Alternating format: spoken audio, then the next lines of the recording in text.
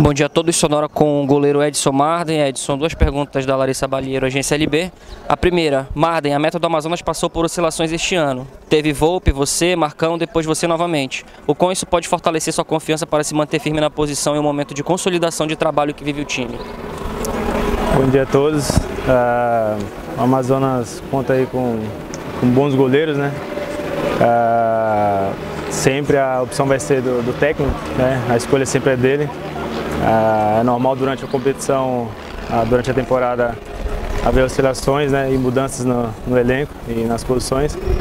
Mas é, o, melhor, o melhor em cima disso tudo é que o Amazonas está bem servido de goleiros, todo mundo que entrou conseguiu dar conta do recado e estou bastante confiante mais uma vez pela, pela oportunidade mais, mais uma vez que eu estou tendo e estou agarrando aí com, unhas e dentes, pretendo a manter até o final, se Deus quiser, que o nosso objetivo principal é, que é o acesso.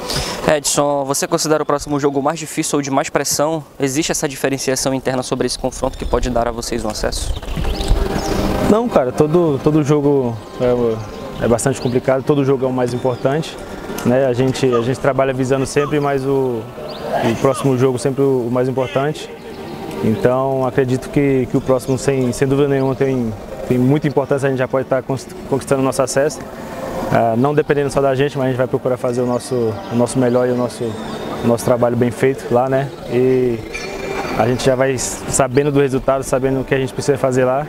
Então, sem dúvida nenhuma, é manter o trabalho, é, manter o, o, que a gente vem fazendo, né? Manter esse, esse nível de concentração, esse trabalho forte, que naturalmente as coisas vão acontecer. Edson, jogo com casa cheia lá, é, muito possivelmente, né, todos os ingressos esgotados. É o tipo de, jo de jogo que todo atleta gosta de, de, atuar, né? Me fala também um pouco sobre, sobre essa questão, né? Muitos podem ver como pressão, mas assim, internamente a gente conversando, vocês falam, esse é o tipo de jogo que todo mundo gosta de estar em campo.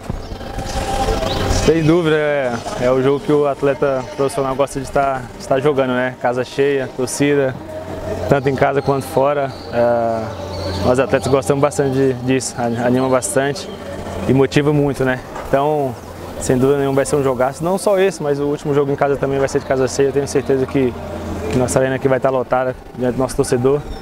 Então é motivação a mais aí, tenho certeza que vai estar um combustível a mais para a gente estar, estar conquistando o nosso objetivo. Obrigado Edson.